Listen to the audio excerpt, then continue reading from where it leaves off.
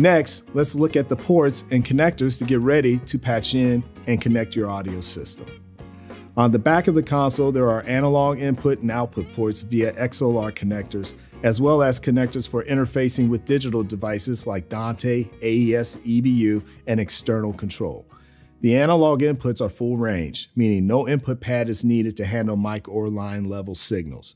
The recallable head amps, HA, or mic pre's can adjust gain from line to mic level, and their settings are captured in the scene memory. There are 16 Omni outs, flexible ports that can be assigned to various sources like main outputs, direct outs, or mixed sends. The DM7 offers 32 analog inputs and 16 analog outputs, while the DM7 Compact features 16 analog inputs and outputs. Both include a built-in 144 channel I/O Dante module for connecting to remote Dante devices like Rio stage boxes and third-party wireless mic receivers. Remember, each I/O device needs to be assigned a unique ID.